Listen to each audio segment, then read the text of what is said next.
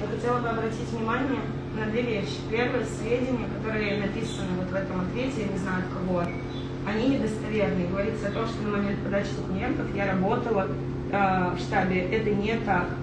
Это абсолютно недостоверная информация, ее можно легко проверить с помощью запросов.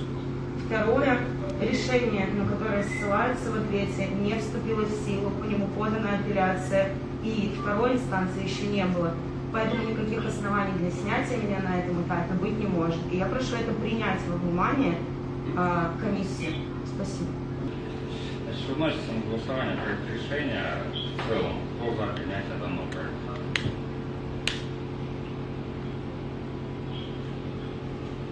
А кому стыдно за проект? Виталий, вам стыдно? Нет, правда, Попросим вас. Да, я, я вас понял. Я вас тоже попрошу. Воздержать. Решение принято. Заседание окончено. Особое Меня мнение. исчерпано. Ну, особое мнение. Понял. Обжалование в установленном порядке.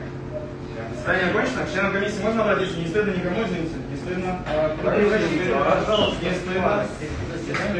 Не стыдно, не стыдно. Виталий, ну что ну ж вы так? Если у вас есть Вам удачи. в частном порядке, можно Мы уже поговорили с вами в частном порядке. Вообще вас Это Какое молодое настолько важно. Еще раз прошу прощения. Насколько это важно?